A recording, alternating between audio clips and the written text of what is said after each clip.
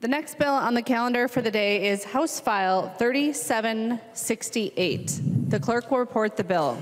House, House File Number 3768, number two on the calendar for the day, an act relating to civil law, the first engrossment. The member from Anoka, Representative Koegel, to your bill. Thank you, Madam Speaker members. Um, when Minnesotans are injured, they sometimes are compensated for their injuries by settling up a long ter- long-term payments through a structured settlement that's, that is approved by the courts. These settlement payments are intended to address ongoing needs for income, losses, and medi- medical bills, and sometimes long into the future. Uh, a recent Star Tribune series exposed the, a problem with our current law by allowing these long-term settlements to be sold to third parties, frequently for small fractions of what they're actually worth. The article pointed out the lack of clear tools to prevent the types of abuse that have occurred in the past.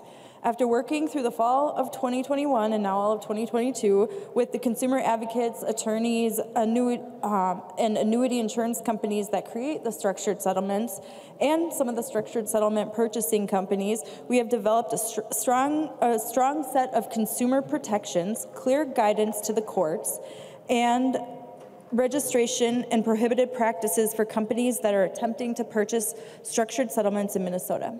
Through House File 3768, we improve the information that is disclosed to consumers before a transaction, including financial implications of the transaction in terms that they can easily understand. It will now require the courts to make a decision and, writ- and written findings that the transaction is in the best interest of the consumer based on the new and clear factors. These include the ability to meet financial obligations after a sale of a settlement, if the sale will impact eligibility for public assistance, the age, maturity, and mental capacity of the person proposed to sell their settlement. Currently, the customer makes the decision that the sale is in their best interest, and they are often misled about the long term financial losses they face after the sale. House File 3768 allows the court to obtain independent advice about the sale of a transaction, which will be paid for by the company proposing to purchase the settlement. Uh, we also now mandate the courts to obtain independent advice if the proposed sale is the sale of a minor settlement or the sale involves someone with an impairment that could make them more susceptible to being abused. this bill uh, requires companies that want to purchase settlements in Minnesota register with the Secretary of State and post a bond to pay damages in case they fail to perform their obligations. We also impose a new list of prohibited practices like preventing constant harassing phone calls, pressuring, to, uh, pressuring a sale, so that these companies can be held accountable for improper conduct. We need structured settlements to provide long term needs of the injured. These payments prevent the injured person and their families from relying on government assistance and often give them the means to live independently with dignity.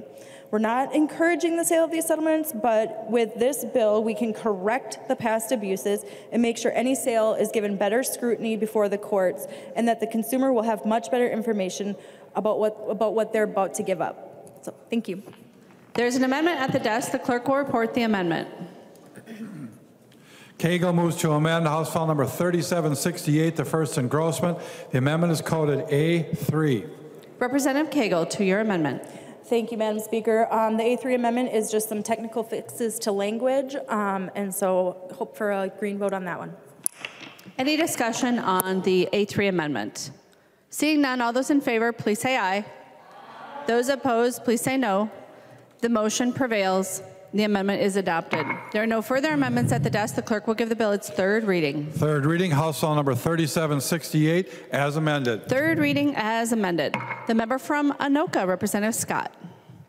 Uh, Thank you, Madam Speaker, and I'd like to thank Representative Koegel for her hard work on this bill. Um, this is a really good consumer protection piece, and it, it prevents people from being from this process being abused and people getting pennies on the dollar on these settlements. So I encourage members green vote.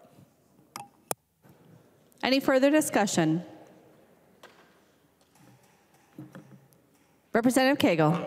Thank you, Madam Speaker. I just really want to thank all the advocates who helped me on this. Um, It was a really amazing process that we were all able to come together and get um, agreement on this bill. And um, I kind of affectionately call this bill the um, I just cut off my fingers, give me work to do bill. So, so this is what I've been working on for a while, so thank you, guys. The clerk will take the roll on the bill.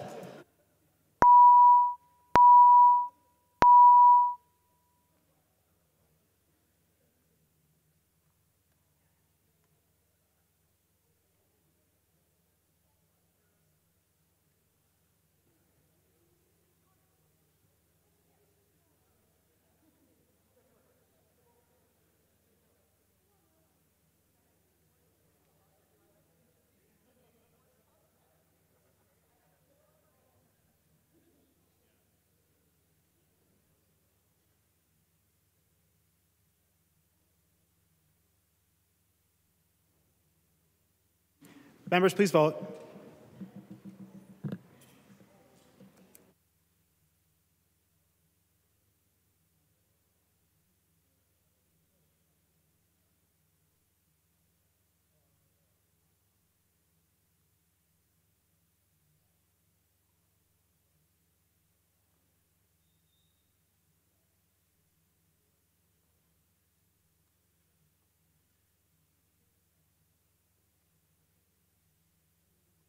Will the clerk please call the names of the members that have not voted yet? Bahner. Bahner. Aye. Bahner, aye. Bahner, aye. Demuth. Demuth, aye. Demuth, aye. Drazkowski. Drazkowski, no. Drazkowski, no. Franzen. Franson, yes. Franson, aye. Hamilton. Hamilton, aye. Hamilton, aye. Hausman. Hausman, aye. Hausman, aye. Hollins. Hollins, aye. Hollins, aye. Kiel.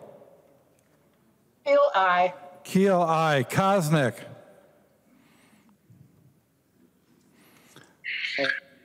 Koznick. Miller. Miller, aye. Miller, aye. Nelson, N. Nelson and I. Nelson, N, aye. Olson, B. Wilson, B, aye. Olson, B, aye. Sandstede. Sandstede, aye. Sandstede, aye. Swedzinski. Swedzinski, aye. Swedzinski, aye. Thompson. Thompson. The clerk will close the roll.